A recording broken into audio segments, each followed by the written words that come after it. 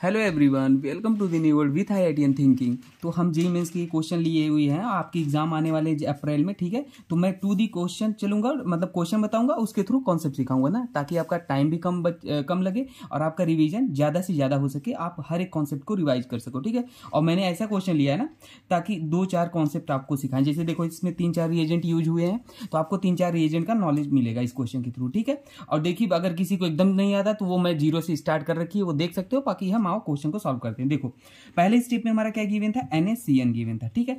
NSCN हमारा क्या करेगा? इसमें ये एक स्ट्रॉन्ग न्यूक्लियोफाइल है।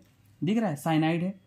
एनएससीएन तो ये क्या करेगा? साइनाइड यहाँ से ये एस एन रिएक्शन कराएगा, ठीक है? ये साइनाइड यहाँ से उठ के आएगा, ये यहाँ पे अटैक कर देगा।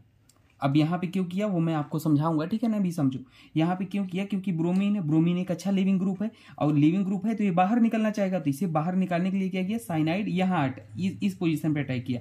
यहाँ पे क्यों किया क्योंकि ब्रोमीन इलेक्ट्रोनेगेटिव है तो इस पर नेगेटिव आएगा यहाँ पॉजिटिव आएगा और ये नेगेटिव पॉजिटिव पर अटैक करेगा तो इसलिए यहाँ अटैक किया। और ये लिविंग ग्रुप की तरह बाहर निकल गया ठीक है? सीधे सीधे समझो ये लिविंग ग्रुप की तरह बाहर निकल गया तो हमारा क्या बना? ध्यान देना। अभी आप एस एन वन और एस एन टू में कंफ्यूज मत हो, ठीक है ना? बस आप सीधे सीधे समझो। आपके पास एक न्यूक्लियोफाइल था और ये लिविंग ग्रुप था हेलोजन ठीक है? वहाँ पर अटैक किया, उसे बाहर निकाल दिया, ठीक है? तो देखो यहाँ पे क्या हो गया? साइनाइड आ गया, ठीक है? दिख रहा आपको? हाँ। साइनाइड को हमने ओपन करके लिख दिया। ये सी एन जो था ना, यहाँ पे गया। ये इसको ऐसे तो लिखते हैं सी ट्रिपल बॉन्ड ठीक है ना? तो ये हो गया। अब देखो, अगली स्टेप में हमारा क्या गिवन था? बेस ओ एच माइनस यही एक बेस है। क्या है? बेस है। बेस का काम क्या होता है? ये बेस मतलब most H D catch plus. उसका काम ही है दुनिया में आने का, most H D catch plus खाना। अब most H D catch plus क्यों, कौन है? तो ये देखो, ये एक एस पी हाइब्रिडाइज है और यहाँ पे माइनस आई इफ़ेक्ट भी लग रहा है। तो कभी भी minus I minus M effect अगर लगाने वाले ग्रुप हैं तो उसके बगल वाला हाइड्रोजन क्या होता है? मोस्ट एच डी होता है। ये मैंने जीओसी में पूरा पढ़ा रखा है बेसिक जीओसी पूरा एडवांस तक पढ़ा है, अच्छे से एक एक बात समझ में आएगी, अगर डाउट हो तो वहाँ पे देखा तो ये हाइड्रोजन मोस्ट एच डी का ठीक है? अब ये बेस क्या करेगा? इसी हाइड्रोजन को आके यहाँ पे खाएगा, ये खा लिया इसको। देखो यहाँ पे अटैक कर लिया, ठीक है? तो अब जैसे इसे खाएगा तो यच प्लस लेके निकल जाएगा और यहाँ पे क्या बनेगा? क्या बनेगा भाई? माइनस आ जाएगा नेगेटिव चार्ज आएगा, ठीक है ना? देखो ओ सी एच थ्री वैसे रहेगा। अब वो बेस खा लिया तो यहाँ पे नेगेटिव चार्ज आ गया। आ गया दिख रहा है आपको? हाँ। और मैंने साइनाइड को यहाँ पे बना दिया सी एन लिख दिया ट्रिपल बॉन्ड करके नहीं लिखा है, ठीक है ना? ऐसे लिख दिया, वो अंडरस्टूड है। अब देखो, अगली स्टेप में हमारा क्या गिवन था? साइक्लो आपके क्वेश्चन में साइक्लो हेक्सो हेक्सेनोन करके गिवन था। आपको नाम गिवन था इसका। साइक्लो हेक्सेनोन कीटोन है ना? ये फंक्शनल ग्रुप क्या होता है? कीटोन तो इसको ये भी याद रख लेना, पता लगा, नाम दे दिया, आपको स्ट्रक्चर बनाना ही नहीं आता। तो इसलिए बता दिया साइक्लो हेक्सेनोन तो यहाँ पे एल्डोल टाइप सी रिएक्शन हो जाएगी। एल्डोल देखो, कि सिंपल समझो, ये नेगेटिव चार्ज है, इसको चाहिए पॉजिटिव तो ये इलेक्ट्रोफिलिक सेंटर है। क्यों इलेक्ट्रोफिलिक सेंटर है? हमेशा याद रख लो कार्बोनिल ग्रुप कहीं पे होता है तो कार्बन इलेक्ट्रोफिलिक सेंटर होता है ऑक्सीजन पे नेगेटिव होता है, ठीक है?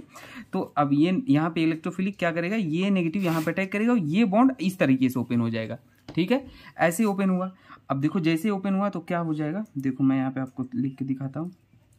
ओ सी एच थ्री दिख रहा है आपको? हाँ मैं थोड़ा सा अब देखो उसके बाद हमने क्या किया? यहाँ पे यहाँ पे हमारा क्या अटैक किया? आ, ये साइनाइड था इसको हमने इधर लिख लेते हैं ठीक है ना? यहाँ पे लिख लिए इसको इधर कर दिए कोई दिक्कत नहीं। अब देखो ये वाला हमारा जो अटैक यहाँ किया था क्या बना था? यहाँ पे अटैक किया था ना तो ये यहाँ से सिक्स मेंबरिंग था बना देते हैं सिक्स मेंबरिंग ठीक है? और यहाँ पे हमारा क्या आएगा? यहीं पे अटैक किया था ना तो यहाँ पे हमारा ऑक्सीजन था।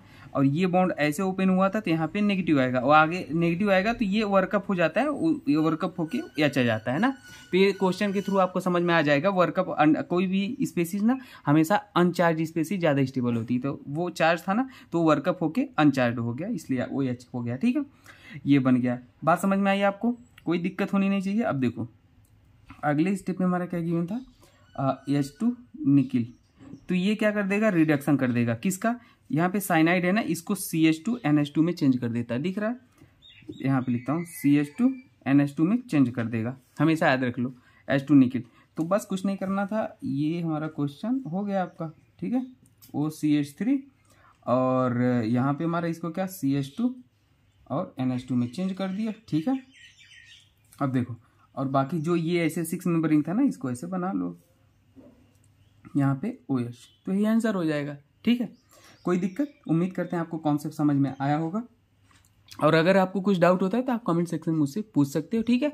और बेस्ट वन क्वेश्चन का प्लेलिस्ट है, आप वहाँ पे देख लेना, बहुत सारे क्वेश्चन है। ट्रिक और टिप्स का प्लेलिस्ट है, उसे देख लेना। आपके मैक्सिमम क्वेश्चन पंद्रह मिनट में सारे क्वेश्चन सॉल्व हो जाएँगे, जेमिस के एक टॉपिक के। तो उसे भी देख लेना, कुछ डाउट हो तो पूछ लेना, ठीक है? ओके दोस्तों थैंक यू